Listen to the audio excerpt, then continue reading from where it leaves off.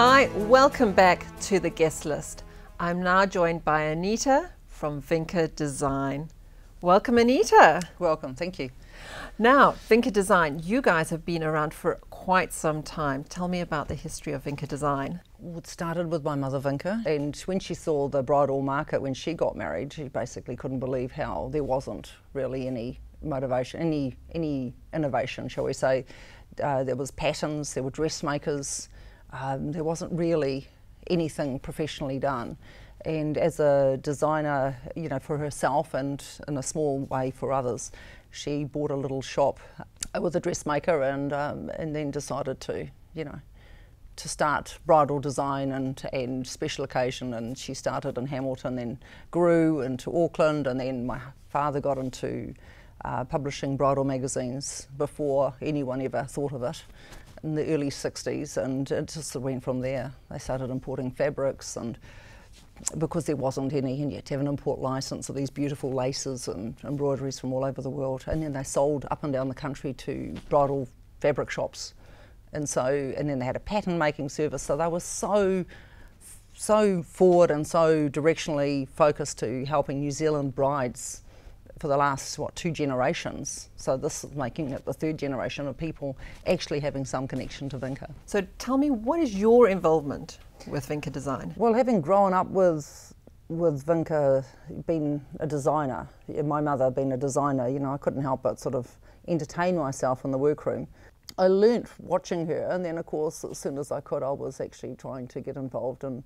And, um, and of course, she had me doing the lowest of all jobs. And of course, I'm still doing the lowest of all jobs. I'm still making veils and still doing the, the cleaning and bits and pieces. But, you know, the reality is there's a real passion for what we do. And, and you know, just, I have to keep going. You know, it's just something we love doing. You make the most amazing gowns. Thank you. And and there's definitely a style that's that's kind of a, your signature style. I think it's I think it's our fit. I think we're really well known for our fit, and the, and actually they're comfortable, but the gowns actually flatter. Mm-hmm. They don't actually, you know, ride up and down with wear and move around and yeah it's just yeah we're really into enhancing the the female form. That's our little happy place. Yeah I, I think it shows as well. I mean just looking at the gowns that are on these mannequins now you can just see that they, they fit the, the form very beautifully. I know but you know like if you've got a good little butt you want to show that off. Absolutely. You know you want to you want everyone to say you know what? I have i have got a lovely figure. You don't want to look like it's all like you're trying too hard, but you do want to show that you've got this beautiful figure. And even if you don't, you want a gown that's going to enhance you and make you look better and better than you've ever looked. You know, so, you know, if you've got a, a beautiful back, and it's just about giving something that you look back at those photos and go, oh, that was such a beautiful gown and I still love it. And, you know, that's, that's how it should be. And it was me. You know, you're not trying to be something you're not. I, I, totally agree. Now let's talk about the design process. What is your design process when somebody first come, well, walks through the door well, Queen Street? Often people come in with no idea, or actually, or they've got so many ideas that they're just a little bit overwhelmed. I don't know, what do I do? And, and basically looking through the, the range, is quite an extensive range we've got of all individual one-off gowns. So that sort of leads them in a direction where the lights come on, they can see, actually, that looks really, really good. And then they might go, but you know what, I don't like that sort of fabric, or I don't, you know, I'm not into sparkles, or I really wanted something, I don't know, whatever colour or whatever. And, um, and, and so that's my job is to interpret all that and, and then create it. I'm not trying to sell this dress. I mean, it'll sell itself.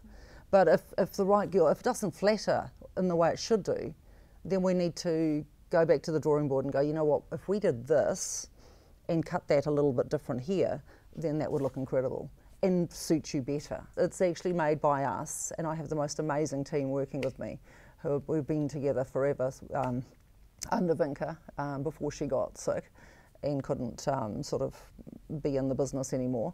I think it's a really important point that you just made, though, is that the person that comes to you and deals with you, you are making their dress. Yeah, it's not lost it's, in no, that translation. So hopefully, um, you know, I'm sort of, and if it's a guy idea and I just think that's going to look insane, are you serious?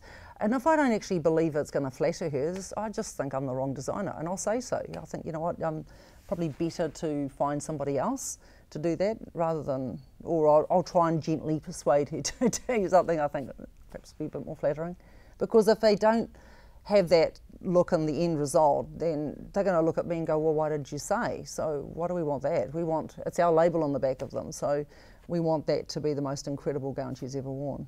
I think that honesty policy is a very, very good one well, to if, have. If we can't have a working relationship of honesty, then that's not going to work. Just think, where was her family? Where, who was the person who sold that dress to her? How could they do that to her? Absolutely. I mean, even if it was an imported gown, who altered it and said, we can do this for you?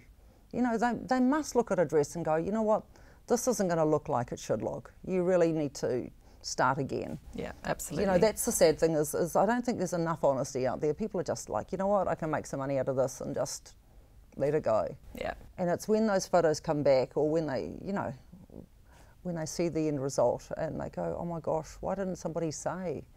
And it's sort of squeezed into a dress or it's hanging off them or the, it's just so gapey around the bust that it looks like you could put a dinner plate with all the food um, down there and it's still wriggling around and you just think that's not how it should look. Now, let's talk about the, the imported versus bespoke, because you do bespoke. That's what Correct. you do. Yeah, we, and, we, and, you we, do it exceedingly look, well. so tempting to get into the imported gowns because they are, there's a definite price advantage, mm-hmm. huge price advantage, but it's not the same thing. And it's okay, uh, it, it, it has to be for some people, that's their budget and that's all they can afford then you know I wish them well. But for those who are prepared to spend a little bit more money on them, on the end result, um, then you know that's that's where we are. But then, to be fair, some of them they come at a certain price. Um, they come in a little box. They spend how much getting it steamed, if those creases will actually come out, and then the altering, and then is it going to look right, and so and the fittings, and so all that they're paying extra, and so sometimes they're saying, you know what, I, I spent all this money and it's still it's still not the dream dream it's of my not, it's not yeah, my dress gown, of my dreams. Yeah. Now um, let's talk a little bit about some of these um, beautiful, beautiful gowns that you have in here.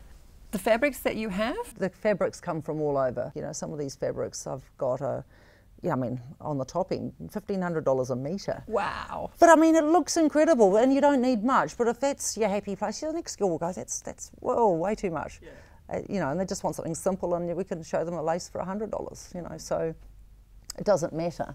It's what makes that gown and what makes that bride her gown. So the kind of dress that we've got here, yes. what would you describe this as? Well, it's a sort of a long line fitted bodice mm-hmm. uh, with a bit of a cheeky, you know, sort of an uplift on the bottom there. And then you've got this sort of full crazy skirt going on which is adding a bit of drama. Mm-hmm. But then one girl will turn up and say, "Oh, I love that, but I don't like the skirt. It's too full and fluffy for me. I like soft and drapey, and that's cool. We just swap that out." So. And like I've done an I illusion sort of back. back. back is Simply we're looking beautiful. at that lace, it's stunning. But then another person will say, yeah, nah, I, want, I, want, I want something else. Or they've got a big scar or a tattoo or something and they go, look, I'm not sure. And this one here? That one, that's an incredible lace. And I just love the floral and the soft and then I've put a blush silk underneath that just to give it a, just a bit of warmth. Uh, interestingly, when you see gowns in daylight, they actually get bleached right out they, yes. they all look white, even this will sort of photograph in a really light shade. But the fall of this lace and the, the drape of it, I just think is the most amazing effect. And I just like what's that little detail in there. A little bit of Swarovski just yeah, to throw it in. Beautiful. I mean, clearly she likes bling if she likes this dress. Absolutely. So a little bit more drama. I've given a like a little bit of a I like that little, yeah, the little Again, collar's nice. It's a very simple line. The, the lace is busy so you don't need to do much. But no. she might just, one bride will might say, look, I want, um, I don't want strapless, I want shoulders, easy. Um, or they just want a chiffon skirt and just figured all that. You know, so that's, this, it doesn't really matter. Or they might just want a big full, you know, it just, again, it comes down to giving inspiration to brides and then that's, you know, we, we sort of toss ideas around until we get to the right conclusion. I've seen girls come in with, a, with their own dress to choose accessories because I've got the most beautiful range of accessories and um, and again different jeweler you know and they're not some of them are imported they're very inexpensive and I've got some more little small and intricate handmade pieces with Swarovski and rhodium plated and you know different platings on it to give different effects. Um, and um, and flowers and all sorts of little and fascinators, all sorts of bits and pieces, and so they come and choose to finish their dress. And you see some of these gowns, And you know, it's fantastic for me because we're like, oh, wow, that's terrible. but I mean, you're not saying it to her, but she mm. needs to make it look better. Yeah. And you can see in her little face, she's like, oh, it's not as she wanted it, but she has to make do. Mm. So the accessories are helping with that. Now, bespoke, obviously they, they come at a cost. So Well- what sort of what sort of range are we looking at? Realistically, for bespoke, you're looking at late threes to, you know, in the fives really. Uh, but most girls spending between four and five as an average. Um, but it really comes down to the fabrics. Like this fabric is not cheap. So if you got so much of it there, well, of course it's going to be a little bit more. But you surely have then seen the value of it. Absolutely. But if they say, look, I don't have that sort of budget, what can we do? Well, well, if we eliminated this, changed that, blah, blah, blah. So this is how we can sort of dumb it down a little bit to get that effect. But the, no matter what you do, is like the laces, there's huge difference. There's could be 800 bucks in a, in a, in a metre of fabric. So, okay, well, this is a good alternative. What do you think? Um, so that's a really w- good way of doing it. And often I'll give a bride a beaded version and an unbeaded version Great. and so the same design, which how incredible is that? And so though, and so she can think about it. Do I value that or not? Does does it matter to me or not? Or they may want a little bit of beading on this part, but then this plain.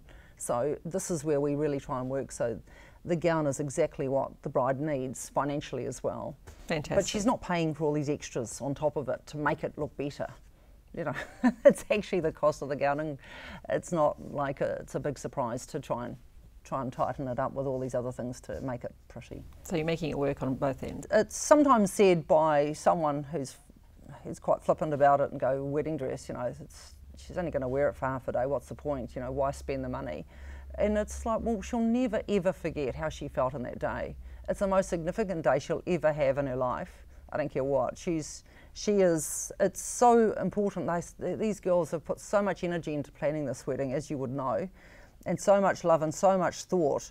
Um, so it's like her little armor plating, really. You know, it's it's if she's looking good, she knows she looks good. She doesn't have to be thinking about a dress. She's just out there having a great day and planning, you know, enjoying every moment, but and without you know fidgeting and rearranging it and trying to tweak it all the time and fidget with it. I mean, that's terrible. Um, but these girls will never look at those photos and think, God, what was I thinking? You know, you're, you're there, and you know, 20 years later, 50 years later, these mums and nanas are coming in going, Oh, I loved my dress, or it was the most beautiful fabric in the, you know, and they can relive it like a birthing story.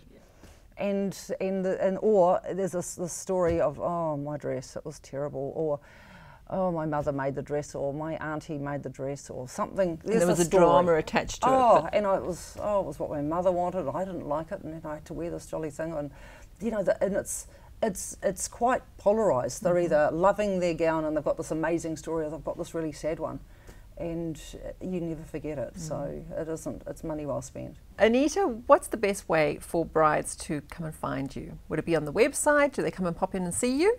Uh, either way would be fantastic, but the website is um, uh, vinkadesign.co.nz or they can phone us.